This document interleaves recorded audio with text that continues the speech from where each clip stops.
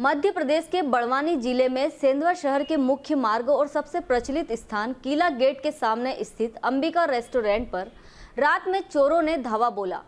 चोरों ने नकदी सहित मिठाइयों और गैस की टंकी पर अपना हाथ साफ़ किया। चोरी करने वाले चोरों ने सीसीटीवी कैमरे भी तोड़े। शहर में पुलिस लगातार गश्त करने की बात करती है और ऐसे में घटना शहर के सबसे व्यस्ततम मार्ग जहाँ पर रात भर आवाजाही रहती है उस जगह पर चोरी हो जाना पुलिस की कार्यशैली पर एक बड़ा सवाल खड़ा करती है।